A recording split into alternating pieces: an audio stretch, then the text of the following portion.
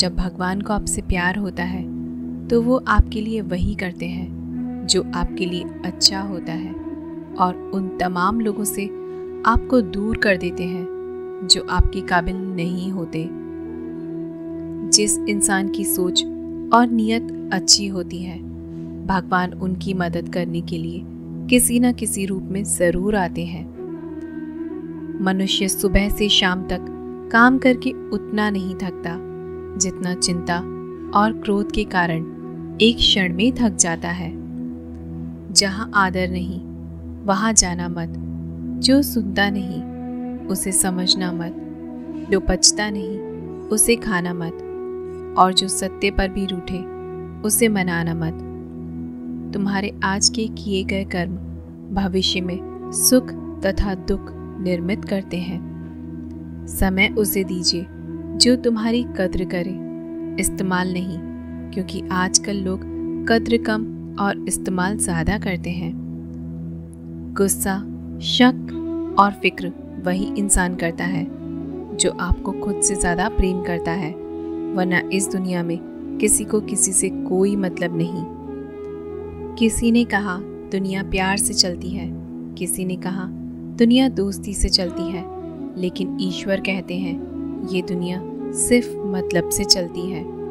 हर चीज़ में समर्पण ज़रूरी है मगर आत्मसम्मान का नहीं।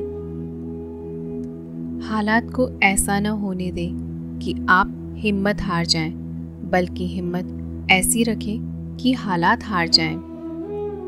सोच अच्छी रखो लोग अपने आप अच्छे लगने लगेंगे नीयत अच्छी रखो काम अपने आप ठीक होने लगेंगे।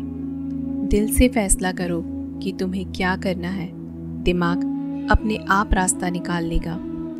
सलाह देने तो हज़ारों आते हैं, लेकिन जब साथ देने की बारी आती है, तब केवल भगवान आते हैं। जब तक तुम डरते रहोगे, तुम्हारी ज़िंदगी के फैसले लोग ही लेते रहेंगे। मन ऐसा हथियार है, जिसका सही इस्तेमाल किया तो वह हर समस्या पर जीत दिलाता है, वरना आपको ही चुपता रहता है। ऊपर वाला उन्हीं लोगों को मुश्किलों से आजमाता है, जिस पर उसे जीतने का भरोसा होता है। दुनिया में अगर छोड़ने जैसा कुछ है तो दूसरों से उम्मीद करना छोड़ दो।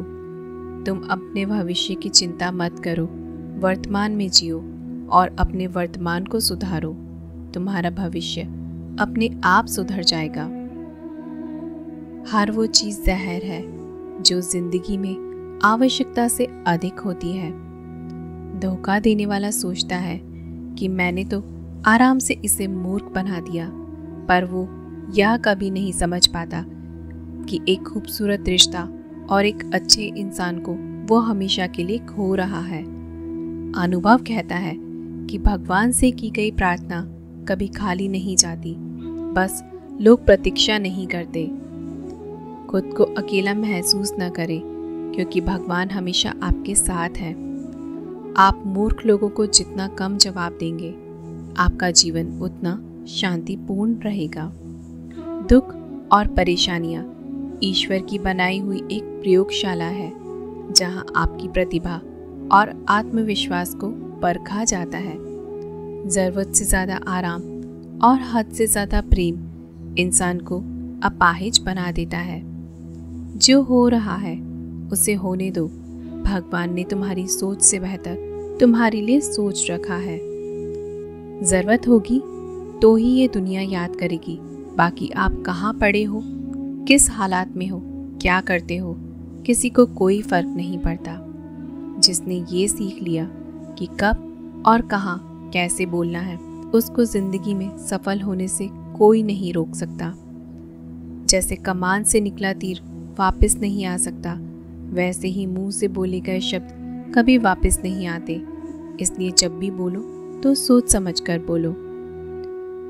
सोचो तो आप बिल्कुल अकेले हो। ठीक से सोचो तो यही सत्य है। हम इंसान को तुरंत परिणाम के पीछे भागने की आदत होती है, पर धैर्य रखना ज़रूरी होता है। कोई भी बड़ी सफलता समय लेती है पूरी होने में। रिश्ते कभी नहीं बदलते। रिश्ते निभाने वाले बदल जाते हैं। किसी के आने या जाने से ज़िंदगी नहीं रुकती, बस जीने का अंदाज बदल जाता है। जब आपको लगने लगे कि आपका सपना इतना बड़ा और अलग क्यों है तो समझ लेना, आपने सपने को नहीं, सपने ने आपको चुना है। मुसीबत में फंस जाने पर मनुष्य को ग्रह दोष, वास्तु दोष पितृदोष शांति दोष सब दिखाई देने लगते हैं, लेकिन खुद का दोष कभी नहीं दिखाई देता। शांत मन से लिया गया हर निर्णय आपको सही परिणाम देता है। ज़िंदगी बहुत छोटी है। जो हमसे अच्छा व्यवहार करते हैं, उन्हें धन्यवाद कहो, और जो हमसे अच्छा व्यवहार नहीं करते, उन्हें मुस्कुराकर माफ़ कर दो। अपनी खूबियों को पहचानो, क्योंकि कमियाँ निकालने वाले तो बहुत मिलेंगे। आगे बढ़ने की कोशिश करते रहो, क्योंकि पीछे खींचने वाले तो बहुत मिलेंगे। किसी को बोलने से पहले, यदि एक बार सोच लिया जाए तो फिर सोचने के पश्चात सौ बार सोचने की ज़रूरत नहीं पड़ेगी। तीन चीज़ें एक बार निकल गई तो वापस नहीं आती। तीर कमान से, बात जुबा से, प्राण शरीर से। किसी का बुरा करके कभी खुश मत होना, क्योंकि जब ऊपर वाला हिसाब करता है, तब समझने के लायक तो क्या?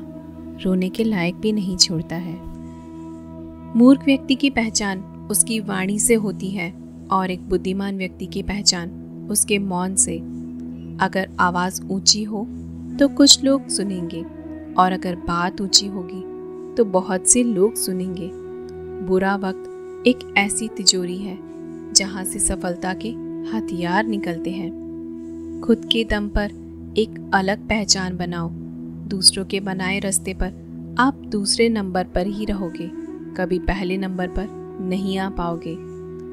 विश्वास के साथ प्रार्थना करो। भगवान आपको सब कुछ देंगे, जो आपने दिल से मांगा है। संघर्ष के समय व्यक्ति अकेला होता है, परंतु सफलता मिलने पर पूरी दुनिया उसके साथ होती है। मनुष्य अपने दुख से ज़्यादा दूसरों का सुख देखकर दुखी होता है। भरोसा यदि श्री कृष्ण पर हो तो वो सिर्फ़ कृपा ही नहीं करते, सारथी भी बन जाते हैं। क्यों रोते हो मन का ना होने पर? जो लिखा है, वो होकर रहेगा। एक रास्ता बंद करने से पहले भगवान दस रास्ते खोल देते हैं। गर्मी के मौसम में पत्ते सूखने के बाद सभी पंछी घोंसला नहीं छोड़ते, क्योंकि वो भी जानते हैं कि बरसात आएगी और पेड़ पर नए पत्ते आएँगे। जो हुआ, उसे भूलकर नई शुरुआत करो और याद रखो, जिसका कोई नहीं होता, उसका भगवान होता है। श्री कृष्ण कहते हैं कि हर इंसान में ये काबिलियत होती है कि वो अपना, हर सपना पूरा कर सके, पर कोई सफल इसलिए नहीं हो पाता। क्योंकि वो तुरंत सफल होना चाहते हैं या फिर आधे में ही हार मान जाते हैं। इसलिए अगर आपको सफल होना है तो धैर्य रखें और अपना पूरा ध्यान हर उस छोटे छोटे कदम पर दे जो आपको आपके लक्ष्य की ओर ले जाए। एक बार एक भिखारी कई सालों से एक पुराने, खराब हुए बक्से पर बैठकर भीख मांग रहा था। एक दिन एक अजनबी इंसान उस भिखारी के पास से गुजर रहा था। उस भिखारी ने उस इंसान से खाने पीने के लिए कुछ पैसे मांगे। उस इंसान ने कहा, मेरे पास तो तुम्हें देने के लिए पैसे नहीं हैं। लेकिन उस इंसान ने गौर किया कि वह भिखारी एक पुराने बक्से पर बैठा है। उस इंसान ने पूछा, यह क्या है? उस भिखारी ने बोला, कुछ नहीं, ये एक खराब हुआ पुराना बक्सा है। यह काफ़ी समय से यही पड़ा हुआ है। उस इंसान ने पूछा, क्या तुमने इसे कभी खोलकर देखा है? उस भिखारी ने जवाब दिया, क्या करूँ इसे खोलकर? यह खाली ही होगा। उस इंसान ने भिखारी से कहा, कि तुम इस बक्से को खोलकर तो देखो। वो भिखारी बक्सा खोलने के लिए राज़ी हो जाता है। वह बक्सा काफ़ी पुराना था, इसलिए उसे खोलने में काफ़ी दिक्कत हो रही थी। लेकिन कुछ समय बाद उस भिखारी ने उस बक्से को खोल दिया। भिखारी ने जैसे ही बक्से के अंदर देखा तो वह हैरान हो गया। इतने सालों से भिखारी जिस बक्से पर बैठा था, वो असल में हीरे जवाहरत से भरा हुआ था। अगर ठीक से सोचा जाए तो हम इंसान भी उस भिखारी की तरह हैं। हम बाहर की दुनिया देखते हैं, अपने अंदर कभी झांकने की कोशिश नहीं करते। हम सभी बाहर खुशियाँ तलाश करते हैं लेकिन यह भूल जाते हैं। हमारी खुशियाँ हमारे अंदर ही हैं। बस उन्हें बाहर निकालना होगा। याद रखिए, जो इंसान खुशियों के लिए किसी दूसरों पर निर्भर रहता है, वह कभी खुश नहीं रह पाता। जो इंसान अपने अंदर खुशियों को ढूंढता है, वह हमेशा खुश रहता है।